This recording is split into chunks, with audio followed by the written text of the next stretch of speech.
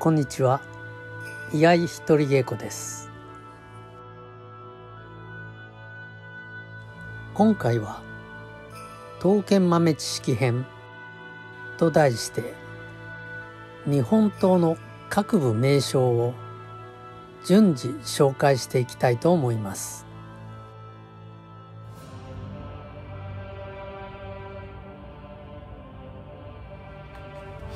居合を始める時の必需品刀。その刀とこしらえの各部名称を基礎知識として深めましょ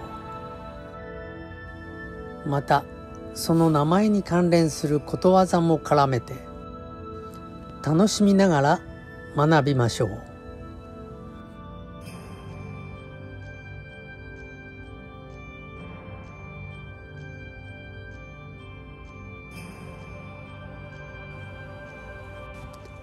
日本刀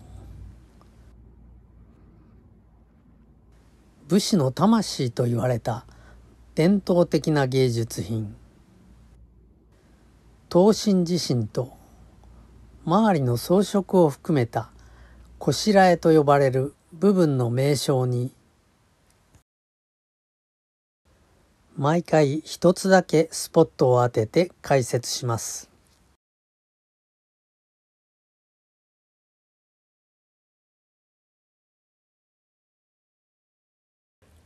今回紹介するピンスポットは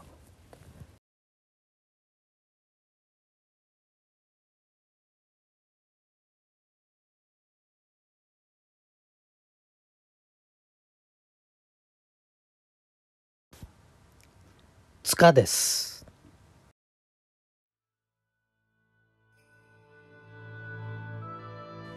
塚とは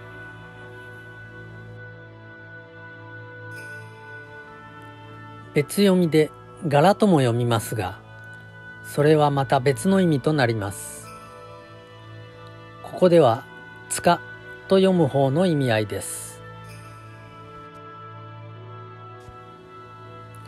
塚とは刀剣の手で握る部分の名称。日本刀の場合は塚生地にサメ革で包んで使い刀を巻いた柄を内刀の中子部分に目釘一本で留めるのが一般的です。塚生地は頬の木が多くサメ側は実際は A の皮のようでした。使いとは証券鹿側を使うものもありました。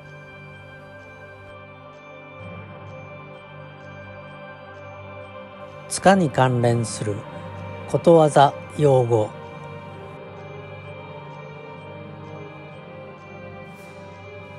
塚巻市サイズかを握る。昔取った杵塚。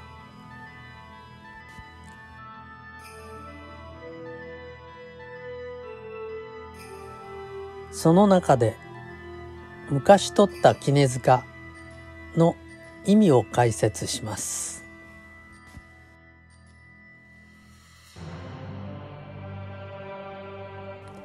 昔取った杵塚とは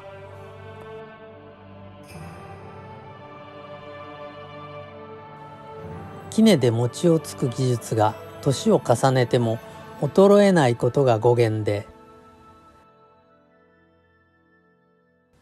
年を重ねても過去に身につけた技術や技能が衰えてない様子を表しています。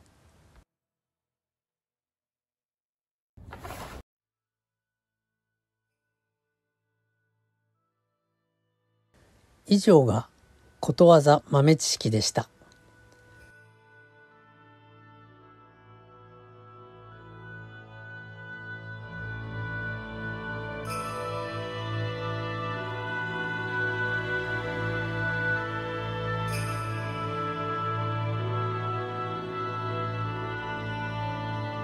ご視聴いただき誠にありがとうございました。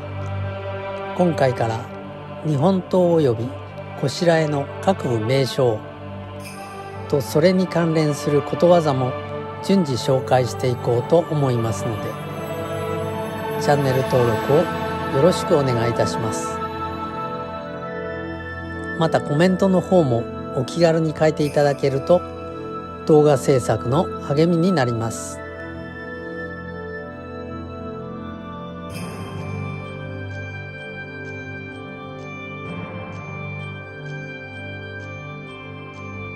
ではまたお会いしましょう。